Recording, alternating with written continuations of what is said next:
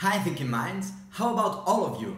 The document you are about to consider is the summary, the introduction, the teaser about the first part of the finding. Egypt is its point of starting out, although it isn't either its origin or its end.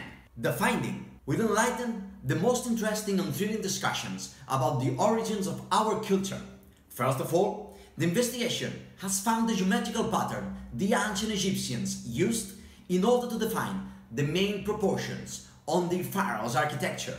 For sure, you all have listened to what I said during the first part, evidences, proofs, origin, and the significance about the geometrical pattern created by the first thinkers in our history will be presented so that everything happened at the same time that the first writing systems in Mesopotamia and Egypt started appearing.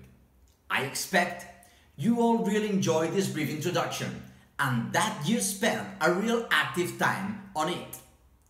In the end, learning is the key of all kind of search. If you really like it, make me know it through likes. You can subscribe on the channel in order to build together all this project and we will meet in the first chapter of the finding. The architecture of ancient Egypt has amazed all of us since ever. This architecture was developed during 3000 years and gave expression to such different pyramids in the Old Kingdom and to the magnificent temples in the New Kingdom.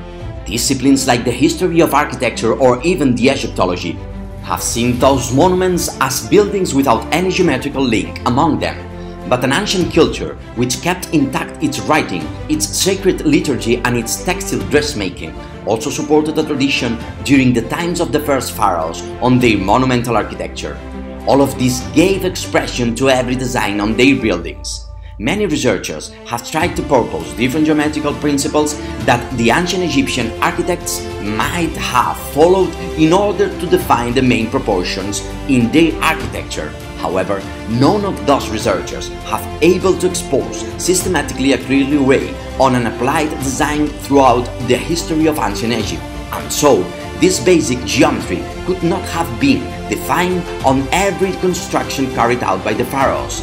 This study has found the geometrical pattern that those architects developed in order to design their royal architecture. Having analyzed more than 2,000 structures throughout the history of the ancient Egypt, evidences will be presented which show that the geometrical pattern existed. Archaeological proofs will be shown which support the ancient Egyptians created a geometrical method beyond any speculation, at the same time that they established their own writing capable to design the main proportions on all the royal architecture.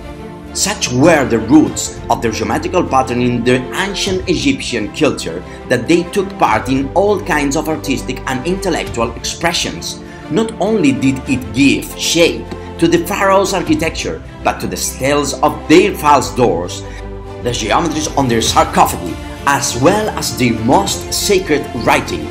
We are going to start an incredible study about the origins of our history, throughout which we will find the first thinkers who designed a way to represent the world and universe.